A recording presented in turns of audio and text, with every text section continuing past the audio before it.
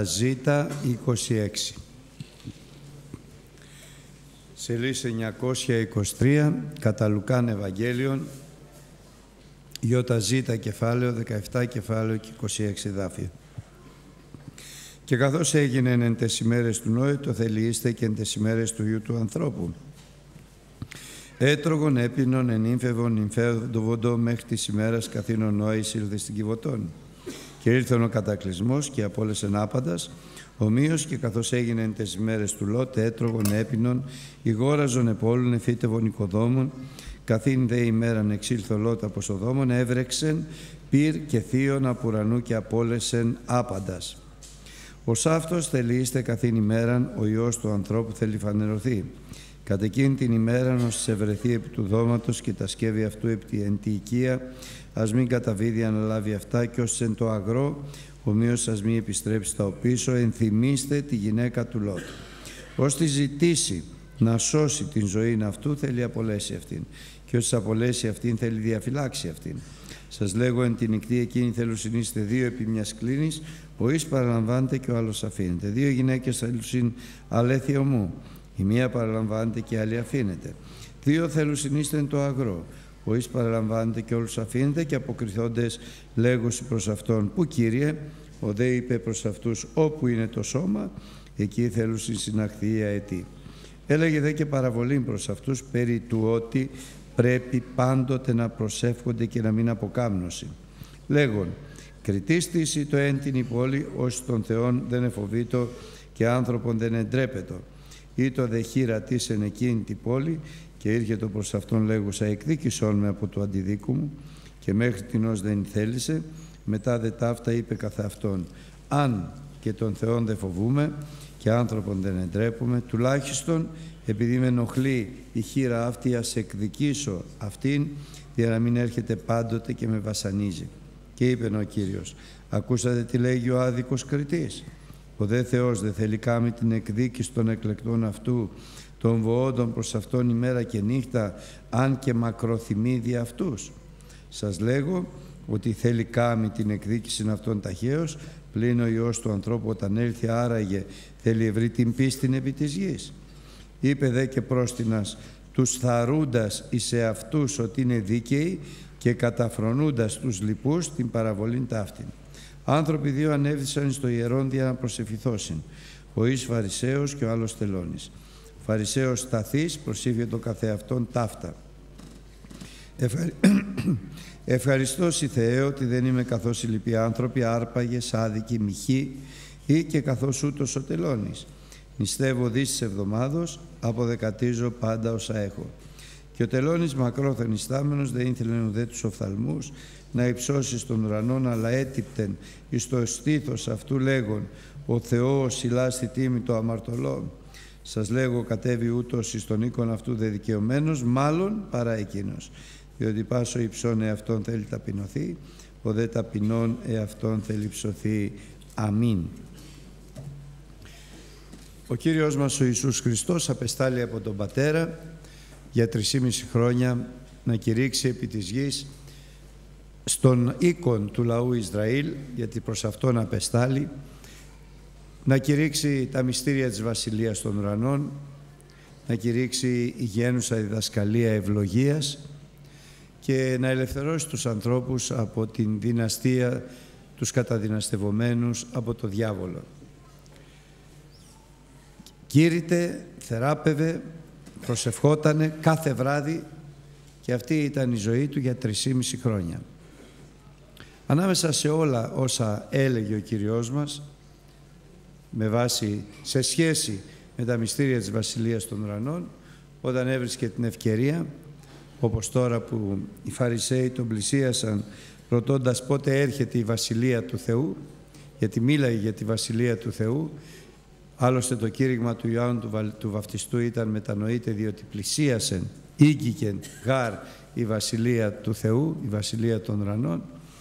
Οι Φαρισαίοι λοιπόν τον ρώτησαν πότε έρχεται. Είναι το ερώτημα των ανθρώπων που θέλουν εκ της φύσεώς τους να, προσ, να προσδιορίζουν χρόνους και καιρούς παρόλο που ο Κύριος μας ο Ιησούς Χριστός μας βεβαιώνει ότι οι χρόνοι και οι καιροί δεν ανήκουν στους ανθρώπους, αλλά ανήκει ούτε στον Υιόν, ο οποίος δεν ξέρει την ώρα και την ημέρα, ούτε στους αγγέλους, αλλά οι χρόνοι και οι καιροί ανήκουν μόνο στον Πατέρα Θεό, τον παντοδύναμο αιώνιο, το μόνο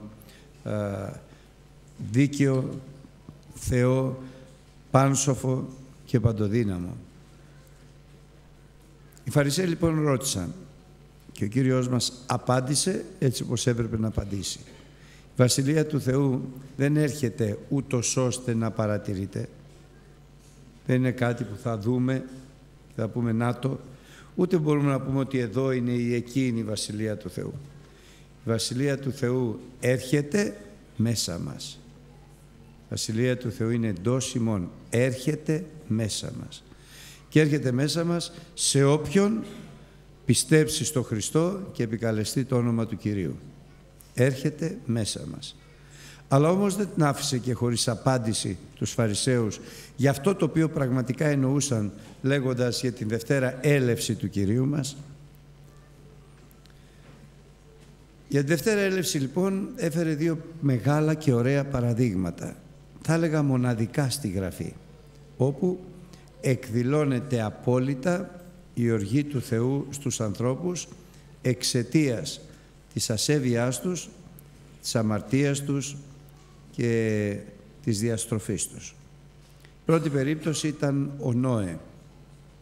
Ο Νόε όπου ο Θεός, λέει ο Απόστολος Πέτρος, περιγράφοντας την εποχή του Νόε, ότι τον παλαιόν κόσμο δεν τον εφίστη ο Θεός, αλλά φέρον κατακλυσμών επί των κόσμων των ασεβών, εφύλαξεν όγδον τον Νόε σαν κήρυκα της δικαιοσύνης. Ο Νόε λοιπόν περιγράφεται από το Λόγο του Θεού ότι υπήρξε κήρυκας της δικαιοσύνης την περίοδο που επρόκειτο να καταστρέψει ο Θεός τους ασεβείς καθώς με το χτίσιμο της Κιβωτού επί 120 χρόνια πάνω σε ένα βουνό, την περίοδο που ποτέ δεν είχε βρέξει, ο Νόε κήρυτε και έλεγε μετανοείτε, αυτό είναι το κήρυγμα της δικαιοσύνης του Νόε, μετανοείτε διότι επλησίασε η δικαιοσύνη του Θεού. Γιατί ο Θεός θα καταστρέψει όλη τη γη. Θα φέρει κατακλυσμό μεγάλο. Και δεν ήταν απλό να γίνει πιστευτός. Άλλωστε η απιστία των ανθρώπων προς το Θεό οδήγησε αυτούς στην ασέβεια. Γι' αυτό και εφύλαξεν, λέει ο Λόγος του Θεού, τον Νόε όγδον, καθώς έβαλε τους τρεις γιους του μέσα στην Κιβωτό, μετά από 120 χρόνια οικοδομής, τις τρεις νύφες του, τη γυναίκα του και τελευταίος όγδος μπήκε αυτός. Δεν ήταν εύκολη η ζωή του Νόε την εποχή εκείνη, αλλά όμως ήταν σύμφωνη με το Λόγο του Θεού και εκείνο που έχει σημασία είναι ότι είχε εν τέλει καλά αποτελέσματα, σωτηρία μεγάλη, καθώς λέγει και ο Απόστολος Παύλος ότι διαπίστεως ο Νόε ευλαβηθείς, τι σημαίνει ευλαβούμε, σημαίνει προσέχω με μεγάλη προσοχή τη λεπτομέρεια των λόγων του Θεού για να υποτάσσομαι και να υποταχθώ και να υπακούω σε Αυτόν. Ευλαβιστής Θεόθεν, δηλαδή τον έφερε σε ευλάβεια ο Θεός με το λόγο Του, περί των μη βλεπομένων. Ήταν αδύνατο να δει με τα μάτια της φαντασίας, με τα μάτια τα σαρκικά, αυτό το οποίο του έλεγε ο Θεός. Τι του έλεγε ο Θεός, ότι θα ανοίξουν οι καταράκτες του ουρανού, θα ανοίξουν οι άβυση, θα πλημμυρίσει όλη η γη και δεν θα μείνει κανένας ζωντανός εκτός από αυτούς όλους που πιστεύοντας το Λόγο μου θα υπακούσουν στο Λόγο μου εισερχόμενοι στην Κιβωτών την οποία εσύ Νοέ με τα παιδιά σου θα οικοδομείς, θα χτίζεις. Και έτσι ο Νόε κατασκεύασε την Κιβωτό καθώς εφοβήθη και έσωσε τον εαυτό του και τον οίκον του και ταυτόχρονα κατέκρινε τον κόσμο της αμαρτίας ώστε έγινε κληρονόμος της διαπίστεως δικαιοσύνης. Μία ζωή δύσκολη, με ονειδισμό, με συνεχόμενο κόπο στην οικοδομή της α, Κιβωτού, η οποία δεν ήταν ένα απλό χτίσιμο, ένα απλό, μια απλή κατασκευή. Πρώτον γιατί ήταν περιγεγραμμένη ακριβώς πως έπρεπε να γίνει το σχέδιό της, και αυτό λέει η Γραφή «Ευλαβηθείς Θεόθεν». Πήρε με λεπτομέρεια το σχέδιο για να επιβιώσει, για να μην βουλιάξει η Κιβωτός. Δεν ήταν απλώς αυτή τη μεγάλη καταστροφή η Κιβωτός να επιβιώσει, ο μόνος τρόπος να επιβιώσει στην οργή του Θεού που θα εκδηλωνόταν ήταν να ήταν κατασκευασμένη κατά πάντα με απόλυτη ακρίβεια, με ευλάβεια σύμφωνα με το σχέδιο που ο Θεός είχε δώσει στο Νοέ σημειωτέων ότι τότε δεν υπήρχαν ναυπηγοί και ούτε οι άνθρωποι ήξεραν να φτιάχνουν βάρκες ή κυβωτό. Μία κυβωτός η οποία θα επιβίωνε σε άσκημες, τρομακτικές καιρικές συνθήκες. Γιατί για σκεφτείτε να κατασκεύαζε, να πρόσθετε και να φερούσε λίγο από τα λόγια του Θεού, να έμπαιναν μέσα όσοι έμπαιναν η οικογένειά του όπως μπήκε και τα ζώα τα οποία ο Θεός οδήγησε και να βουλιάζε. Να ναυαγούσε.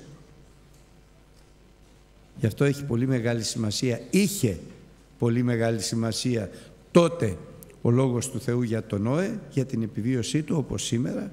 Έχει πολύ μεγάλη σημασία ο Λόγος του Θεού για την επιβίωσή μας λίγο πριν εκδηλωθεί για τρίτη φορά έντονα η οργή του Θεού με την αποκάλυψη του Αντίχριστου και με τις α, σφραγίδες, πληγές και οτιδήποτε άλλο περιγράφει ο Λόγος του Θεού στην Αποκάλυψη.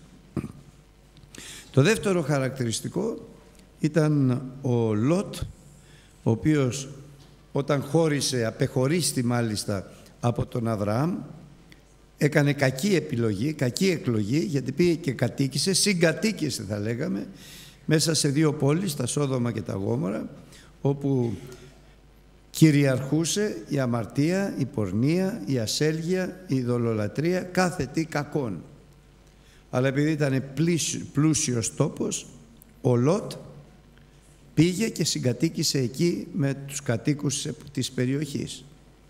Όμως και αυτόν ο Θεός αποφάσισε να τον σώσει και αυτός βασανιζότανε τον καιρό πριν να εκδηλωθεί η οργή του Θεού καθώς λέγει η Γραφή και κατέκρινε ο Θεός εις καταστροφήν τας πόλης των Σοδόμων και, τας, και της Γομόρας και ετέφρωσε, κατέκαψε καταστήσας παράδειγμα των μελόντων να ασεβώσει.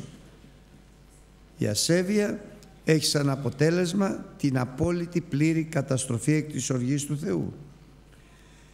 Και ελευθέρωσε, όπως εφύλαξε κατά το λόγο του Κυρίου τον Νόε πριν, ελευθέρωσε ο Θεός τον δίκαιο Λότ, γιατί παρά την κακή επιλογή του να κατοικήσει στην περιοχή των Σονδόμων και των Γομόρων, δεν έπαψε να είναι δίκαιος ενώπιον του Θεού και πιστός ενώπιον του Θεού και να ακούει τη φωνή του Θεού. Παρόλο που δεν ήταν τέλειος ανάμεσα στους συγχρόνους του όπως ήταν ο Νοέ. Ελευθέρωσε λοιπόν ο Θεός τον δίκαιο Λότ ο οποίος κατεθλίβετο υπό τις ασελγούς διαγωγής των, των ανώμων διότι ο δίκαιος Λότ κατοικών μεταξύ αυτών διοράσεως και ακοής ευασάνιζεν κάθε μέρα τη δικαία αυτού ψυχή δια τα άνομα έργα των ασεβών. Μέχρι που ο Κύριος με άγγελο έδωσε, έστειλε και τον έβγαλε από την περιοχή που επρόκειτο να καταστραφεί και ο Θεός έριξε πυρκεθίων και κατέστρεψε άπαντας μέσα στα Σόδομα και στα Γόμορα. Γι' αυτό εξηγεί τώρα ο Κυριός μας, έτσι θα είναι και τις ημέρες του Ιού του ανθρώπου, κατά εκείνη την ημέρα που θα ακουστεί το κέλευσμα του Θεού, η φωνή του Αρχαγγέλου και η σάλπιγγα του Θεού, όποιος βρεθεί πάνω στο δώμα της κατοικίας του και τα σκεύη αυτού κάτω στην οικία του, ας μην κατεβεί να λάβει αυτά και όποιος τον αγρό ας μην επιστρέψει στα οπίσω και προτείνει να ανθυμούμεθα τη γυναίκα του Λότ η οποία έστρεψε προς τα οπίσω παρόλη την εντολή του Θεού και έμεινε στήλη άλατος.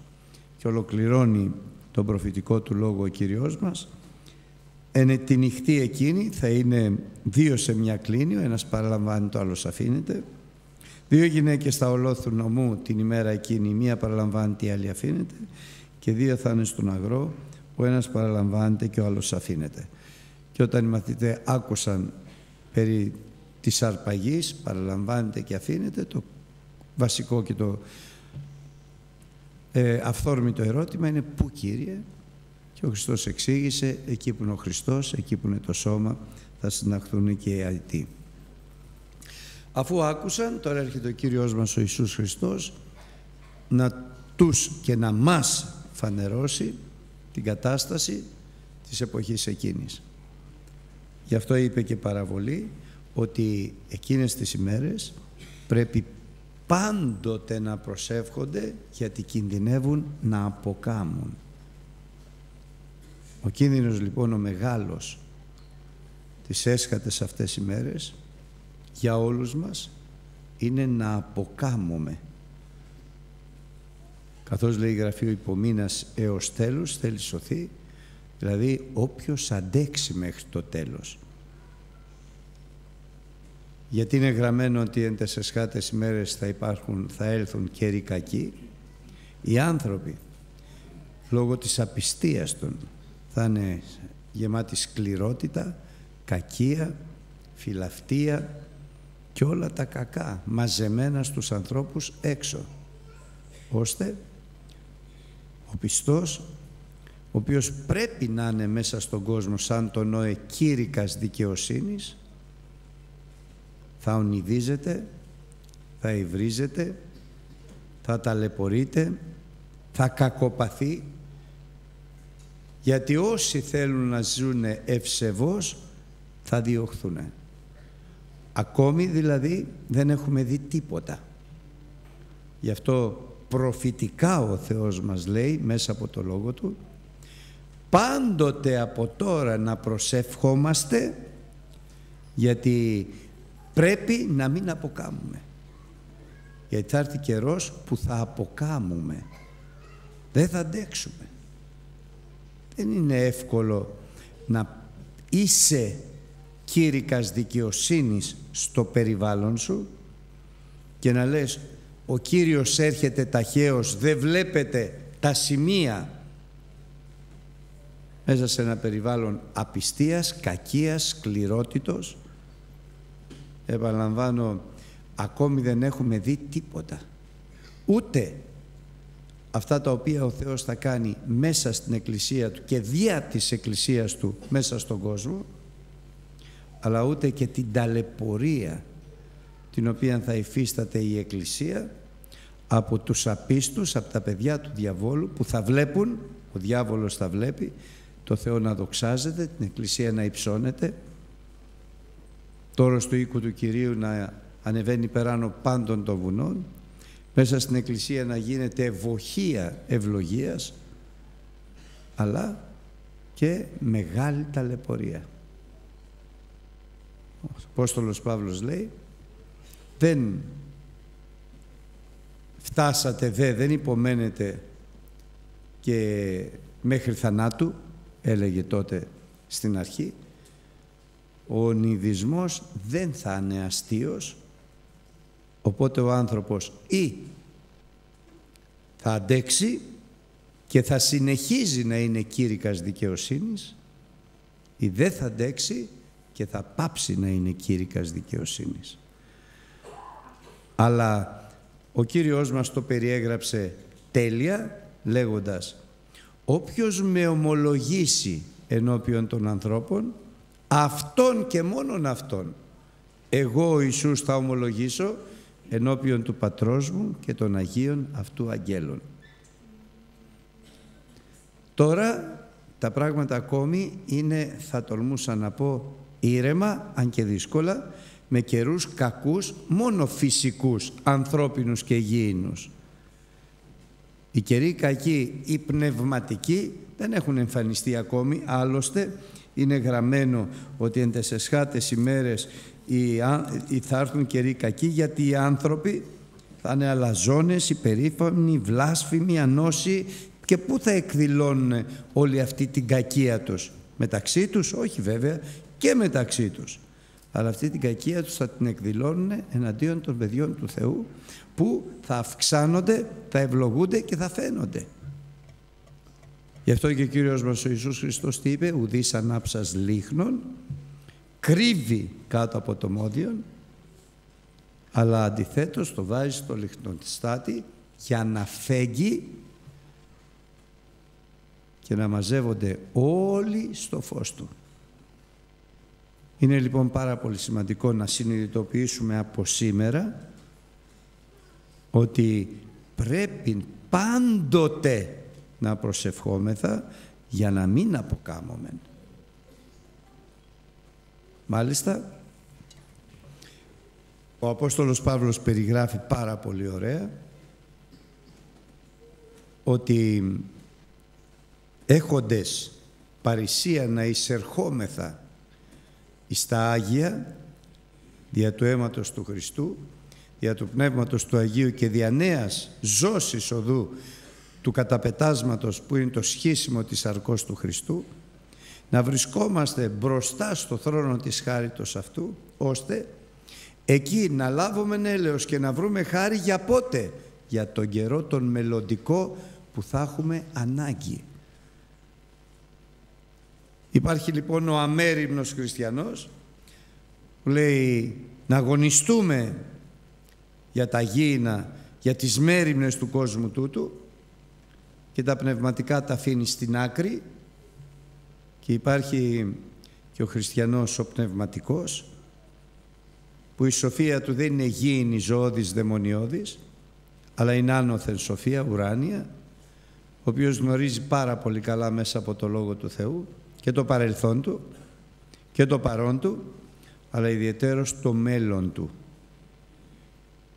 Που το μέλλον του μέσα σε καταστάσεις καιρών κακών που χαρακτηρίζονται οι καιροί κακοί από την κακία των ανθρώπων, από τη μοχθηρία των ανθρώπων, από την ε, αμαρτία των ανθρώπων, γνωρίζει πάρα πολύ καλά ότι πρέπει να είναι κήρυκας δικαιοσύνης, δεν μπορεί να μην είναι και να θέλει και να μην είναι δεν θα μπορέσει γιατί όπως έλεγε και μια αδελφή θα τον ξελακώνει ο Θεός καθώς θα είναι μέσα στην Εκκλησία και ο μόνος τρόπος θα είναι να ομολογεί Ιησούν Χριστόν καθώς λέει και στην Εκκλησία της αρπαγής της Εκκλησίας των Εσχάτων ημερών έχεις μικράν δύναμη μέσα σε όλο αυτό το κακό αλλά επειδή πρώτον εφύλαξα στο λόγο μου μα δεν είναι εύκολο να φυλάω το λόγο του Θεού. Έχω να πολεμήσω με τον εαυτό μου. Όχι με θηρία, λέει ο Παύλος, επολέμησα στην Έφεσο.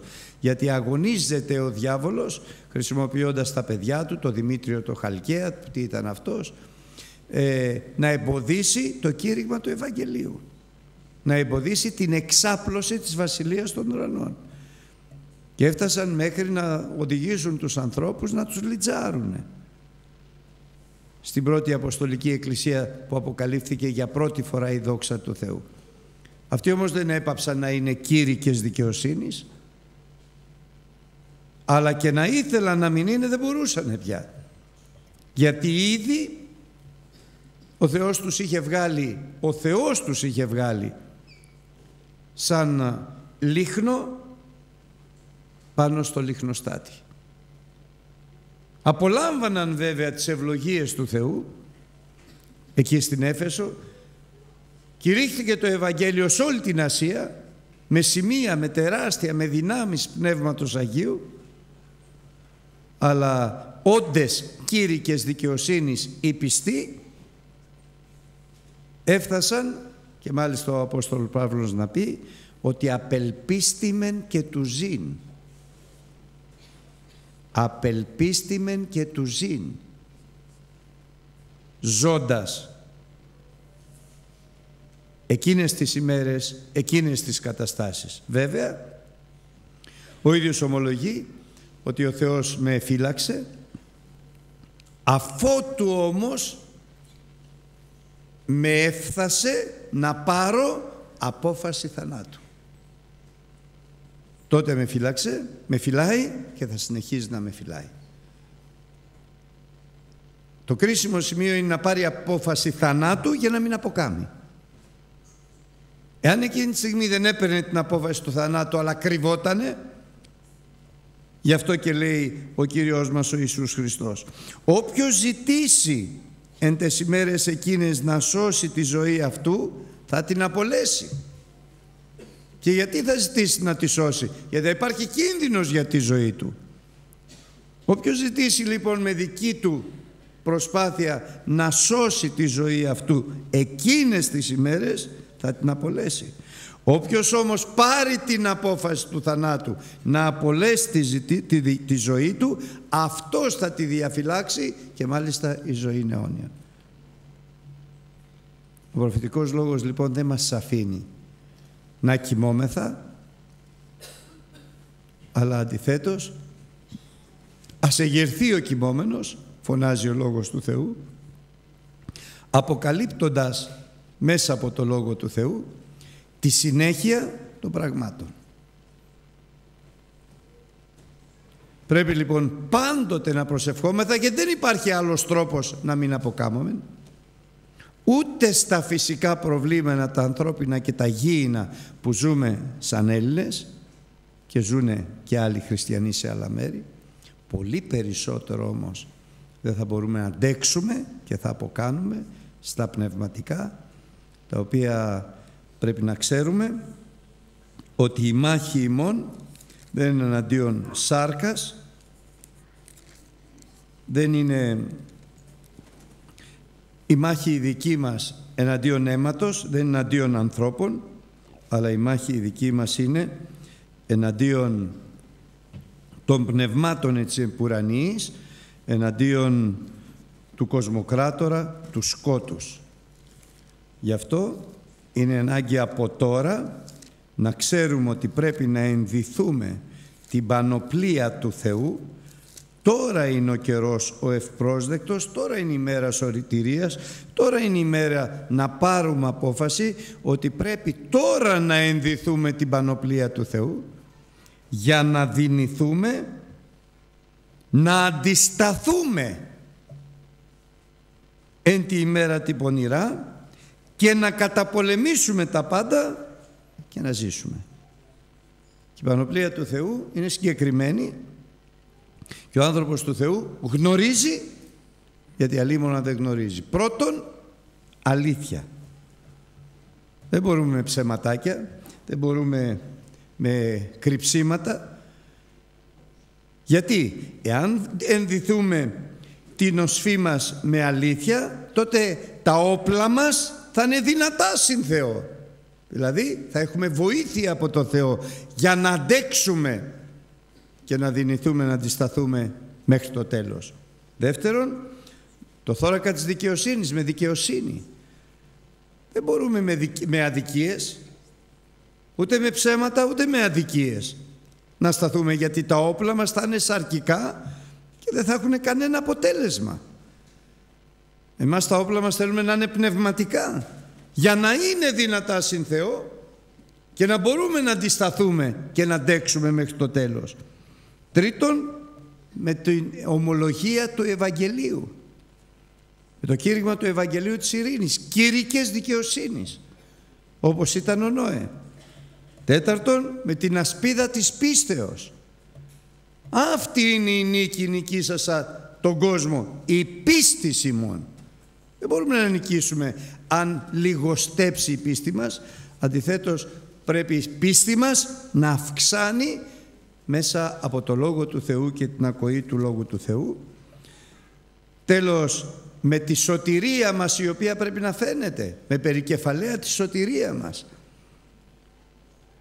Δεν μπορούμε να μην λέμε ότι είμαστε σωσμένοι και να κρυβόμαστε, γιατί τα όπλα μας θα είναι σαρκικά, θα είναι αδύναμα, θα συντριφθούμε από τον εχθρό. μόνο όταν είναι φανερή η σωτηρία μας, ότι το όνομα μας είναι γραμμένο στο βιβλίο της ζωής, ότι φυλάξαμε το Λόγο του Θεού και δεν αρνηθήκαμε το όνομα του Κυρίου. Τότε τα όπλα μας θα είναι δυνατά συν Θεό για να μπορούμε να νικήσουμε, να αντισταθούμε και να μείνουμε ζωντανοί. Και τέλος με τα επιθετικά μας όπλα που είναι δύο και είναι μόνο διαπνεύματος Αγίου. Πρώτον, ο Λόγος του Θεού που είναι η μάχαιρα του Πνεύματος Χρησιμοποιούμε το Λόγο του Θεού δια Πνεύματος Αγίου. Δεν είναι δικός μας ο Λόγος του Θεού. Δεν θα το χρησιμοποιούμε όπως θέλουμε, αλλά θα αφήνουμε το Πνεύμα το Άγιο να μιλάει εκείνες τις ημέρες. Και εκείνες τις ώρες και σήμερα πρέπει να εκπαιδευτούμε, να μην προμελετάμε τι θα πούμε, αλλά εκείνη την ώρα το Πνεύμα το Άγιο να μας διδάσκει για να φέρουμε σε αμηχανία με τη βοήθεια του Θεού τους αντιλεγωμένους αλλά και το Πνεύμα το Άγιο να μιλάει με το στόμα μας για να συντρίβεται ο εχθρός. Και τέλος, έβδομον όπλο η προσευχή δια Πνεύματος Αγίου. Για να μπορέσουμε λοιπόν να αντισταθούμε πρέπει να προσευχόμεθα και να μην αποκάμουμε. Αλλά και ο Λότ. Και ο Λότ είχε πιο μεγάλα προβλήματα. Βασανιζότανε και έπρεπε να τον ελευθερώσει ο Κύριος βασανιζόταν η ακοή του και η όρασή του από την ασέλγεια των ανθρώπων. Θυμηθείτε ότι οι άγγελοι που πήγαν να τον ελευθερώσουν τους έπιασαν οι κάτοικοι των Σονδόμων και των Γομόρων θεωρώντας ότι είναι κατάλληλοι για να τους βιάσουν. Σκεφτείτε που είχε φτάσει η ασέλγεια. Α, τώρα όμως δεν είμαστε μακριά. Τώρα η ασέλγεια θεωρείται φυσιολογικό πράγμα. Και όχι μόνο φυσιολογικό, όχι επιτρεπτό, φυσιολογικό. Και όχι μόνο φυσιολογικό και νόμιμο ήδη. Καθώς παντρεύονται άντρες με άντρες και γυναίκες με γυναίκες. Και ποιος φαίνεται ο μη φυσιολογικός, ποιος φαίνεται ο μη νόμιμος, ο χριστιανός. Ο χριστιανός είναι αυτός που βρίσκεται και μάλιστα σε μερικές χώρες στον πλανήτη μας, όποιος μιλήσει ε, για το Χριστό και για την ασέλγεια θεωρείται ότι είναι παράνομος γιατί επεμβαίνει στην προσωπική βούληση και στα προσωπικά δεδομένα των ανθρώπων. Βασανισμός. Και τώρα ισχύει, αλλά σκεφτείτε τότε πώς θα ισχύει. Ήθελαν να βιάσουν τους αγγέλους. Και βγήκε έξω ο Λότ και λέει πάρτε την κόρη μου. Αφήστε τους αγγέλους που εμφανιζόντουσαν σαν άντρες. Και έφερε μέσα τους αγγέλους και γλίτωσαν. Θα μου πεις γλίτωσαν, τι θα έκαναν. Γιατί επάταξε αυτούς ο Κύριος με αορασία και δεν βρίσκανε την πόρτα του Λότ να μπουν μέσα.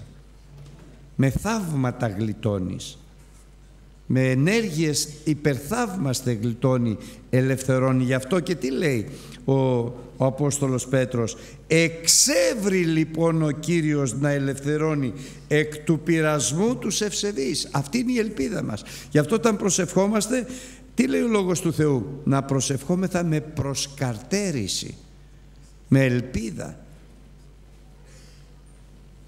Γιατί οι καταστάσεις είναι και θα γίνονται όλο και πιο δύσκολες και μόνο όταν προσεύχεσαι με ελπίδα και με προσκαρτέρηση θα βλέπεις το χέρι του Θεού κρατεό και το βραχίωνα του Κυρίου εξυπλωμένο. Πότε είπε ο Χριστός πρέπει και σε ποιους είπε ο Χριστός πρέπει πάντοτε να προσεύχονται και να μην αποκάμωση. Στη συνέχεια της φανέρωσης του καιρού των εσχάτων ημερών, των ημερών του Ιού του ανθρώπου.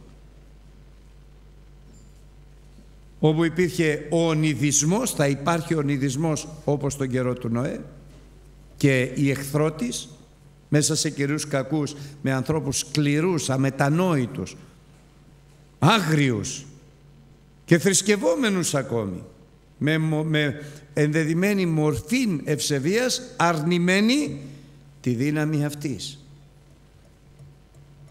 Και ο άνθρωπος πρέπει, ο χριστιανός πρέπει να αντέξει, να μην αποκάμει.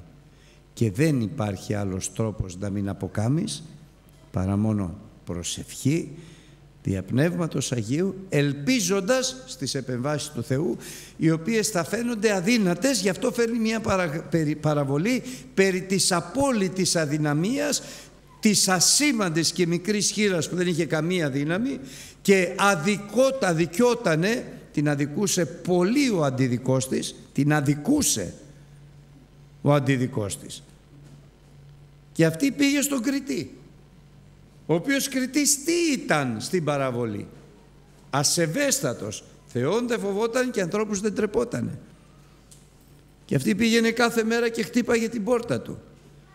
Σώσε με από το αντιδίκου μου βοήθησέ με από αυτόν που με αδικεί φοβερή παραβολή που περιγράφει την αδικία των ανθρώπων στην αδυναμία των πιστών. Τη δύναμη των απίστων και την αδικία των απίστων, τη σκληρότητα των απίστων στην αδυναμία των πιστών, στην τέλεια αδυναμία της χείρας, ένας παντοδύναμος κριτής που όμως η γυναίκα αυτή πήγαινε κάθε μέρα και του λέγε εκδίκησον με από το αντιδίκου μου. Και καταρχάς δεν της έδινε σημασία. Στο τέλος όμως τη βαρέθηκε και είπα στην εκδικήσω να γλιτώσω από αυτήν και ο Κύριος μας εξηγεί την παραβολή. Ακούσατε τι είπε ο άδικος κριτής που το Θεό δεν φοβάται και άνθρωπο δεν τρέπεται ότι ελευθέρωσε την αδύναμη χείρα στην αδυναμία της που αδικείτο από τον δυνατό αντιδικό της την ελευθέρωσε. Ο πατέρας σας ο ουράνιος να γιατί πρέπει πάντοτε να προσευχόμαστε και να την αποκάμουμε. Γιατί ο πατέρας μας ο ουράνιος θα κάνει την εκδίκηση των εκλεκτών αυτού των βοόντων προς αυτόν ημέρα και νύχτα αλλά αργεί για τη μακροθυμή δεν βραδύνει να έλθει ο Κύριος όπως την λογίζονται τούτο βραδύτητα αλλά μακροθυμεί ο Θεός για αυτούς που αδικούνε. Για τους σκληρούς, για τους αμετανόητους μην τυχόν την τελευταία στιγμή έρθουνε εις μετάνοια επιστρέψουν και σωθούνε. Γιατί άραγε ο Χριστός λέγει δεν θα παρέλθει η γενεά αυτή μέχρι να γίνωση πάντα ταύτα. Δηλαδή δεν φτάνει μέχρι το τέλος της γενεάς. Ενώ στην πρώτη Αποστολική Εκκλησία δεν έφτασε μέχρι το τέλος, αλλά είπε μέσα σε αυτή τη γενναία θα γίνουν όλα αυτά. Στην τελευταία γενναία όμως είπε δεν θα παρέλθει μέχρι την τελευταία στιγμή. Θα μακροθυμώ. Μην τυχόν και έρθουν πολλοί από αυτούς που σήμερα είναι άγριοι, σκληροί, αμετανόητοι, κακοποιούν και αδικούν τους αδύναμους χριστιανούς της Εκκλησίας της Φιλαδελφίας, μήπως έρθουν εις μετάνοια. Γι' αυτό τι λέει στην Εκκλησία της Φιλαδελφίας ο Κύριος μας ο Ιησούς Χριστός; Επειδή εφύλαξας τη δική μου υπομονή, όχι τη δική σου, επειδή φύλαξα στην υπομονή μου, εστάθης πιστός στην υπομονή μου και σε ποιον κάνει υπομονή, σε ποιον μακροθυμεί ο Θεός, στους αδίκους για να μετανοήσουν και να σωθούν. Και ζητάει από μας όλους αυτούς που μας αδικούνε, που μας ταλαιπωρούνε και θα αυξανόμενα μας ταλαιπωρούνε, να μακροθυμούμε σε αυτούς. Γιατί όπως κάποτε έσωσε τον διώκτη και υβριστή Σαούλ και τον έκανε Απόστολο Παύλο, πολλούς εν τέλει θα φέρει σε κατάνοιξη ο Χριστός, εάν όμως εμείς μακροθυμούμε και υπομένουμε με την υπομονή του Κυρίου, ο οποίος δεν βραδύνει την έλευση αυτού, αλλά μακροθυμεί για να σωθούν όλοι Δεν θα κάνει λοιπόν εκδίκηση. Βέβαια θα κάνει εκδίκηση. Πότε; Με την οργή του που θα εκδηλωθεί με την αποκάλυψη του Αντίχριστου όταν η αμαρτία θα φτάσει στο πλήρες. Και πότε η αμαρτία θα φτάσει στο πλήρες; Αν την επόμενη στιγμή της αρπαγής όταν δεν θα υπάρχει ούτε ένας δίκαιος στη γη. Και εκεί θα αποκαλυφθεί η οργή του Θεού. Θα κάνει εκδίκηση. Βέβαια θα κάνει εκδίκηση σε αυτούς που κακοποιούν, που ονειδίζουν, που ταλαιπωρούν το λαό του. Αλλά πότε, μετά την αρπαγή, όταν θα αποκαλυφθεί ο Αντίχριστος, θα έρθουν οι σφραγίδες, θα έρθουν οι φιάλες, θα έρθει όλη η οργή του Θεού. Το ερώτημα λοιπόν είναι, στη θέση του Κυρίου μας, ότι σας λέγω θα κάνει εκδίκηση ταχαίως. Θα κάνει εκδίκηση ταχαίως. Αλλά όταν ο Υιός του ανθρώπου θα έρθει επί της γης, θα βρει την πίστη, θα αντέξετε. Γι' αυτό πρέπει να προσεύχεστε και να μην αποκάμετε. Γιατί όταν θα έρθει ο Χριστός να πάρει την εκκλησία του θα βρει την πίστη. Θα έχετε αντέξει. Θα αγωνίζεστε τον αγώνα τον καλό. Θα περπατάτε το δρόμο που ο Θεός έχει ετοιμάσει για σας. Θα μένετε στην πίστη. Αυτό είναι το μέγα ερώτημα που ο Θεός έχει προς όλους μας σήμερα. Σήμερα είμαστε εδώ, αλλά ήρθαμε εύκολα. Και τότε, όταν θα έρθει ο Χριστός, θα έχουμε μείνει στην πίστη. Θα έχουμε αντέξει ή θα έχουμε αποκάμει. Είμαστε χριστιανοί που έχουμε λάβει απόφαση θανάτου, είμαστε χριστιανοί που την κοπανάμε. Με το κρακ δρόμο.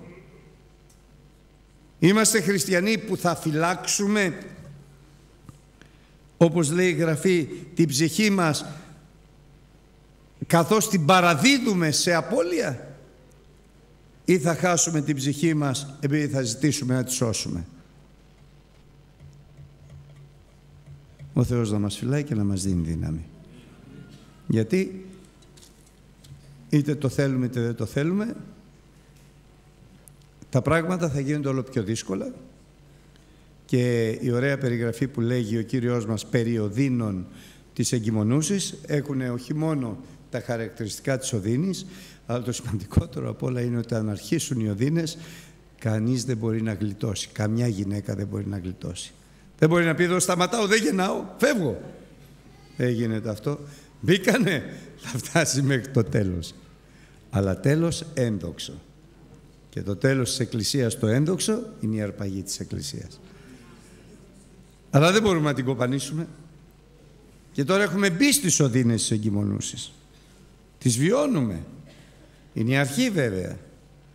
Αλλά οι οδύνες με το πέρασμα των ωρών του χρόνου θα γίνονται όλο και πιο συχνές αλλά και πιο βάρβαρες, πιο έντονες Γι' αυτό η αλήθεια είναι ότι πρέπει να κάνουμε το κετό ανώδυνο.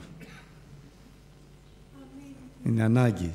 Την άλλη πέμπτη θα μιλήσουμε για τον ανώδυνο το κετό. Στις οδύνες της εγκυμονούσης, το πνευματικό ανώδυνο το κετό. Υπάρχει, βέβαια υπάρχει. Όχι ότι δεν θα, δεν θα πονέσουν οι γυναίκες που κάνουν ανώδυνο το κετό.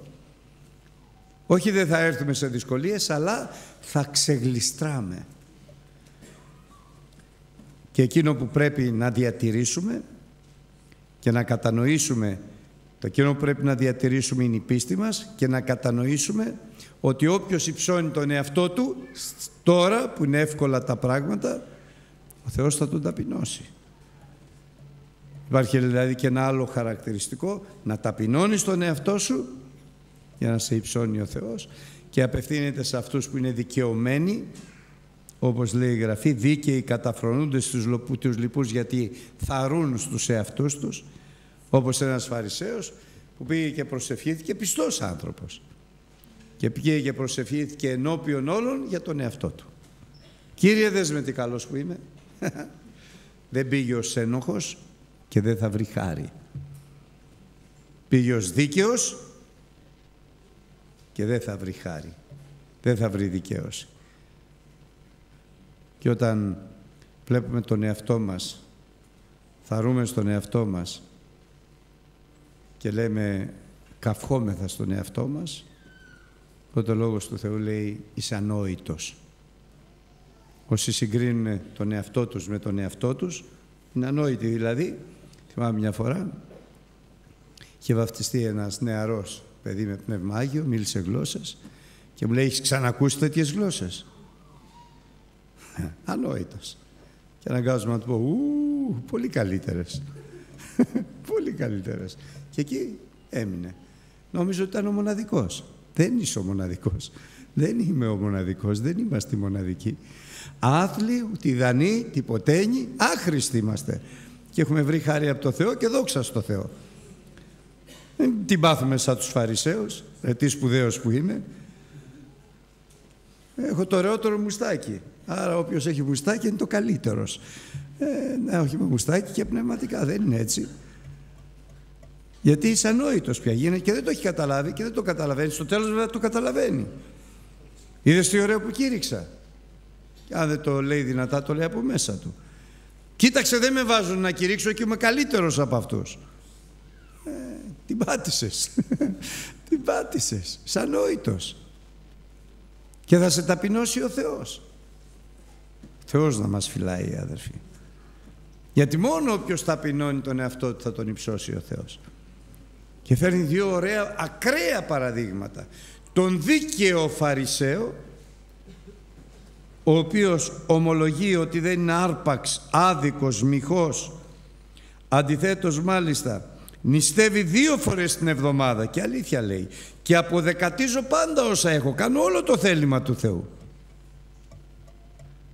Και γυρίζει στο διπλανό του, που ήταν αμαρτωλός και λέει δεν είμαι και σαν κι αυτόν, το μασκαρά συγκρίνει τον εαυτό του, τον βλέπει πολύ ωραίο. Ο δε τελώνης χτύπαγε το στήθος του, δεν κοίταγε στον ουρανό και έλεγε «Θεέ μου, συγχώρεσέ με». Ο, ο ένοχος, συγχώρεσέ με. Και έρχεται τώρα ο Θεός και αποκαλύπτει. Ποιος θα πάει δικαιωμένος στο σπίτι του, ποιον θα δικαιώσει ο Θεός, ποιον θα ευλογήσει ο Θεός, τον δίκαιο Φαρισαίο ή τον αμαρτωλό τελώνη τον αμαρτωλό τελώνει. Και το δίκαιο Φαρισαίο δεν θα τον δικαιώσει. Τι θα τον κάνει, θα τον ταπεινώσει. Γιατί, γιατί ύψωσε τον εαυτό του. Και ύψωσε τον εαυτό του σε αυτά που κάνει. Λες και είναι κάτι αφού ο Χριστός λέγει ότι και όλα τα διατεταγμένα να κάνετε μην ξεχνάτε να λέτε ότι είστε άχρηστοι δούλοι. Άχρηστοι δούλοι γιατί κάνετε αυτά που χρεωστείτε να κάνετε. Ο τελώνης όμως ο καημένος ε, συγχώραμε, συγχώραμε, συγχώραμε. Αένοχος είμαι, άθλιος είμαι. Και ο Κύριος του λέει μη στενοχωριέσαι, σε συγχωρώ. Μα συγχωρεί ο Θεός, αλλά όταν ταπεινωνόμαστε και πάμε σε Αυτόν σαν ένοχοι και του λέμε Κύριε, άλλωστε δεν το ξέρουμε, εις πολλά πτέωμεν άπαντες. Κανένας δεν είναι δίκαιος. Ε, και τώρα εδώ που τα λέμε, έχω και μερικά καλά, αλλά αν μετρήσω τα κακά, είμαι ένοχος. Και ποια είναι τα καλά; Τίποτα. Αυτά που μου δίνει χάρη ο Θεός να κάνω. Αυτό ισχύει για όλους μας. Αλλά σε όλα τα άλλα, μηδέν. Άρα έχω τόσα πολλά να πάω να μετανοήσω. Έχω τόσα πολλά να πάω να εξομολογηθώ. Και χαίρομαι γιατί θα με δικαιώσει όχι ο εαυτός μου, όπως τον Φαρισαίο τον δικαίωνε ο εαυτός, το εαυτός του, θα με δικαιώσει ο Κύριος μου, γιατί ξέρει τη φύση μου, την αδυναμία μου. Μα μια φορά προσευχόμουν, είχα κάνει λάθη και πήγα λέω Κύριε πώς με ανέχεσαι, πώς με αντέχεις, μου σκέματα έκανε πάλι. Γιατί με αντέχεις, πώς, Χριστέ μου ντρέπομαι. Και μου λέει ο Θεός, γνωρίζω τη φύση σου. Θεός γνωρίζει τη φύση μας, εμείς να μην τη μάθουμε. Ότι είμαστε ντενεκέδες ξεγάνωτοι. Ότι είμαστε άθλοι, τυποτένοι, άχρηστοι. Για να μην δημιουργείται και καμιά κάφιεση μέσα μας και την πατήσουμε. Δεν έχουμε τίποτα να καυχηθούμε. Και ό,τι καλό τυχόν κάνουμε είναι η χάρη του Θεού. Που αν την αποσύρει ο Θεός ούτε ελάχιστο καλό δεν θα μπορούμε να κάνουμε. Τι ωραίο που είναι να πηγαίνουμε ταπεινά στον Κύριό μας. Όχι τίποτα άλλο. Για να αντέξουμε αδερφοί. Για να μην αποκάμουμε. Για αυτά τα οποία ζούμε και αυτά τα οποία πρόκειται να ζήσουμε. Θα ζήσουμε ευλογίες αλλά και ταλαιπωρίες. Ο Θεός να μας φυλάει να βρίσκουμε χάρη ενώπιόν Του, γιατί θα φαζανίζεται η δικαία μας ψυχή από αυτά που θα βλέπουμε και θα ακούμε και θα ονειζητιζόμεθα από αυτά που θα λέμε και θα κάνουμε. Καλό κουράγιο να έχουμε. Κύριος να μας ευλογήσει πολύ. Αλληλούια.